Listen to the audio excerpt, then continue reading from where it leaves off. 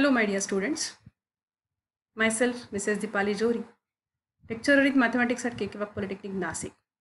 Once again, welcome you all in one more video of first unit from the subject Basic Mathematics. Today, we will discuss about the topic determinants. This is the one part of the chapter.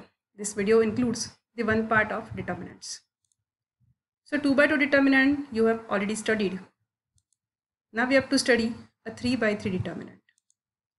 Let us first see what are the learning outcomes of this video.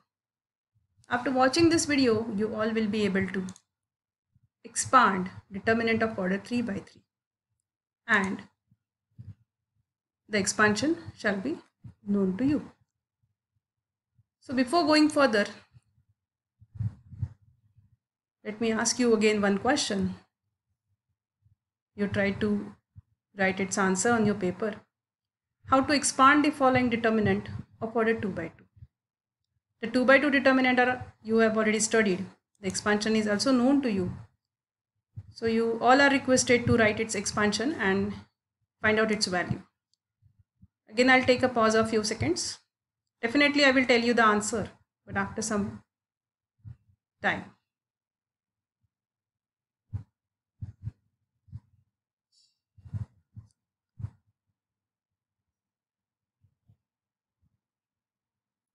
Okay, done. Let's see what is the answer of this 2 by 2 determinant. See, this is your determinant of order 2 or 2 by 2 we can say. So for this 2 by 2 determinant, how we can expand?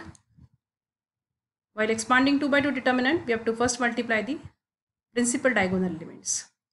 We have to multiply 2 and 3 first. So the multiplication of 2 and 3 minus, this is the sign of expansion of determinant, minus the multiplication of secondary diagonal elements means minus 1 and 4 get multiplied. Then you further have to simplify it. 6 minus of the multiplication is minus 4 and hence the final answer is 10. So 10 is the value of this determinant. Okay, hope you all uh, get the correct answer there. Now at this diploma level, we will study a determinant of order 3 by 3. See what is first of all mean by determinant? A determinant is a square arrangement. For 3 by 3 order, it means it's a square arrangement of 9 elements. How 9? Because there are 3 into 3 means 9 elements. So a square arrangement of 9 elements in 3 rows and 3 columns enclosed between two vertical bars is called a determinant of order 3 by 3. What is mean by rows? Rows means simply a horizontal line. Row, horizontal line. Column means vertical line. Okay. So you have to enclose your 9 elements into 3 rows and 3 columns and put 2 vertical bars there. Okay. Enclose them into 2 vertical bars. Your determinant will be ready. So there are 3 rows and 3 columns. Hence we call the determinant order 3 by 3. First number is always for row, second number is for column. Now remember determinant is generally denoted by a capital letter. Any capital letter you can use but generally we will use capital D or delta. Now see a generalized determinant I have considered here. It's a D determinant of order 3 by 3 because there are 3 rows and 3 columns. Okay, rows means horizontal lines. So these this is the first row second row, third row. First column, second column, third column. Now in this determinant, A1, B2 and C3. These three elements are called as principal diagonal elements. A1, B2 and C3. These elements are called principal diagonal elements. Okay, this is called principal diagonal whereas C1, B2 and this is called as secondary diagonal. Now let's see how to expand the determinant of order 3 by 3 or how to evaluate it. So I have again considered a generalized determinant here. A1, B1, C1, A2, B2, C2, A3, B3, C3. Now while expanding it, you first have to remember the signs plus, minus and plus.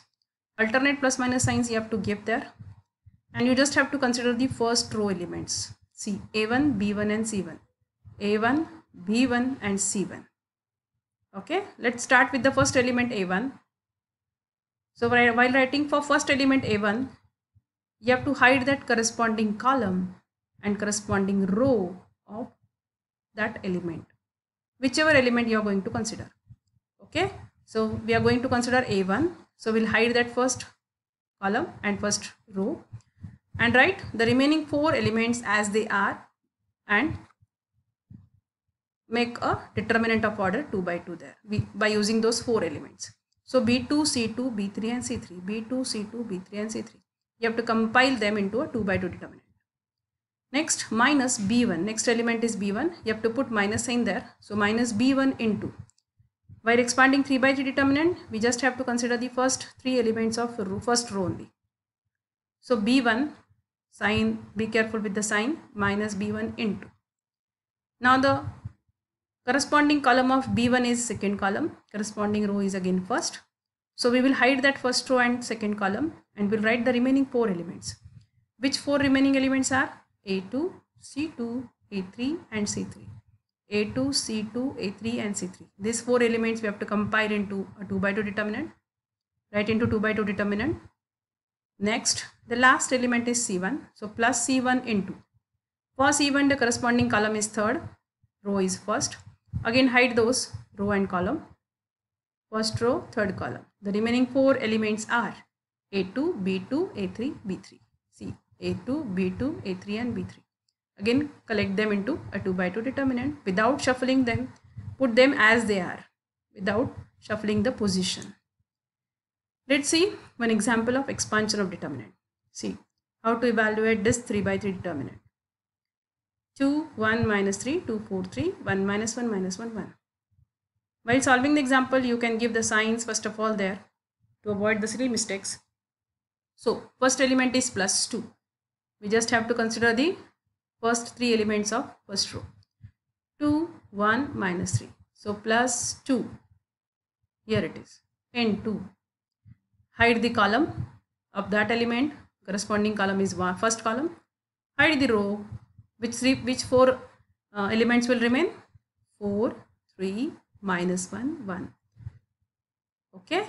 Pick them and put into the 2 by 2 determinant as they are without shuffling. So 4 3 minus 1 1 4 3 minus 1 1 okay? We'll make a 2 by 2 determinant there. Next minus 1 into minus 1 into. Its corresponding column is second column. So it get hidden forget it first row again its corresponding row for that element. So first row always we have to hide. Just think about the column. So for second element minus 1 into. Second column get eliminated or forgetted. 2 3 minus 1 1 2 3 minus 1 1 are the remaining four elements. Okay? Make a determinant using those. And the last plus plus the element. Okay but the sign is minus 3 here. So plus into minus it will be minus. So minus 3 into. Its corresponding column is third column.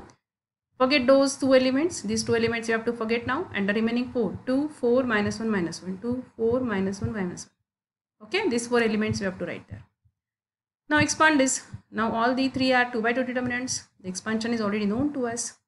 Here the expansion is simple. We know but you must have to be careful with the sign no sign mistake is allowed up hereafter okay that you have to be careful.